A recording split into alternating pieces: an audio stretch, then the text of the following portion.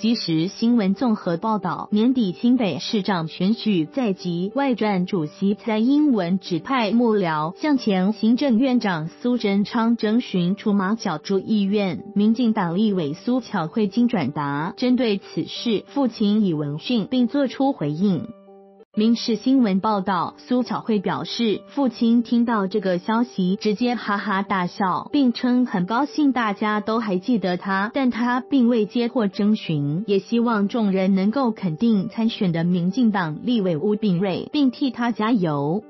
苏巧慧指出，自己听到传闻，头先的反应是得一头雾水，反问有吗？有这种东西吗？接着才说没有这种事情，如果有的话，我怎么会不知道呢？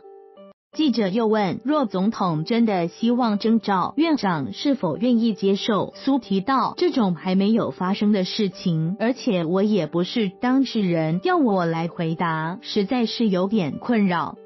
吴炳瑞则回：“今天我也是看到媒体才知道，应该是没有吧？如果有的话，院长应该会告诉我吧？不用劝退啊，就循着正常的机制走，最后就会出现适当的人。”